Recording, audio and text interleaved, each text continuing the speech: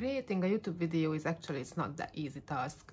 I need to record quite a loads of footage before I can select those ones that actually are alright and I can use them in my real videos.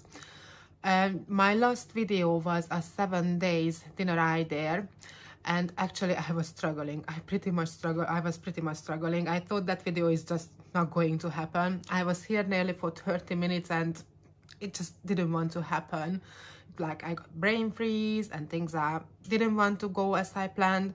So also the other thing is English is not my first language. It's giving me an extra challenge.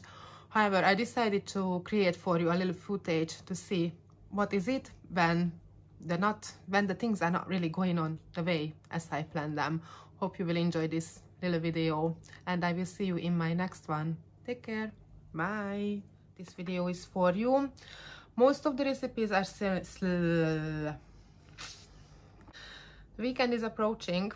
Time to get those planners out and plan the next week dinner plan.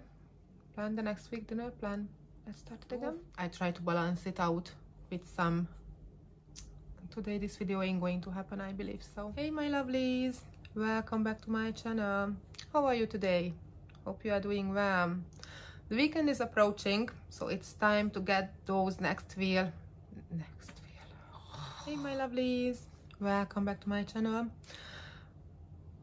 hey my lovelies, welcome back to my channel. How are you today? Hope you are doing well.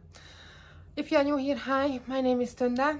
I'm a full-time working mommy to a little girl and uh,